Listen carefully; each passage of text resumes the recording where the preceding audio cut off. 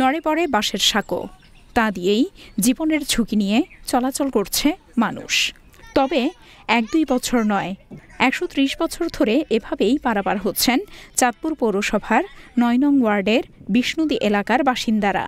সরেজমিনে এলাকাবাসীর সঙ্গে কথা বলে জানা যায়, চাঁদপুর পৌরসভার নয় নং ওয়ার্ডের শেষ প্রান্তের তরপুর চণ্ডী ইউনিয়নের ছৈয়ালকান্দি ও মেঘনা নদীর পাড়সহ বিভিন্ন স্থানের লোকজন সাঁকো দিয়ে পারাপার হয়। তাছাড়া স্কুল কলেজের শিক্ষার্থী, বিষ্ণুদী রোড বাজার, আনন্দবাজার, মসজিদ, বিভিন্ন প্রতিষ্ঠানের লোকজনকে ঝুঁকি নিয়ে যাতায়াত করতে হচ্ছে। চাঁদপুরের মধ্যে প্রথম শ্রেণি পৌরসভায় মানে স্বাক্ষর থাকবে এটাই দুঃখজনক এখানে আসলে অনেকগুলো জায়গায় আমাদের অনেক সাঁকো আছে। মানে আমাদের টু থার্ড এরিয়া প্রায় নতুন পৌরসভার অন্তর্ভুক্ত। সেই এলাকাগুলোতে নাগরিক সুবিধা নেই বললেই চলে।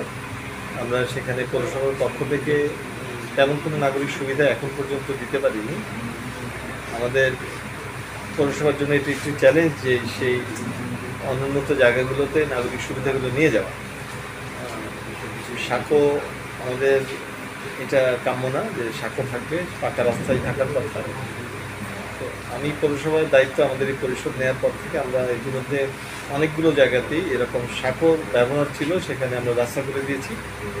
এটি একটা দীর্ঘতম সাঁকো। এটির জটিলতা হচ্ছে যে আমরা চাচ্ছি কিন্তু স্থানীয়ভাবে যাদের জমির উপর দিয়ে রাস্তাটি হবে সেই জমি ভূমি মালিকদের সাথে এখন পর্যন্ত আমরা সমঝোতাটা করতে পারিনি। তাদেরকে নিয়ে আমাদের একটা বসার চিন্তা ভাবনা আছে। বসে তারা যদি সম্মতি দেন, আমরা পৌরসভার অর্থায়নেই এখানে রাস্তা করে দিব। আমরা প্রতি বছরই সাক্ষ্যটি মেরামত করতে যে, সংস্কার করতে যে একটা বিপুল অর্থের ব্যয় হয়। আমরা সেটি চাই না। আমরা চাই যে, স্থায়ী একটা সমাধান হোক, পাকা রাস্তা হোক সেটির উদ্যোগ আমরা নিচ্ছি। আশা করছি যে, আমাদের উদ্যোগের সাথে যদি এই রাস্তাটি ব্যবহার করবেন যারা, সেই ভূমি মালিক বা আশপাশের জনগণ যদি সহযোগিতা করেন, আগামী বছরই আমরা রাস্তাটি করে ফেলতে পারব।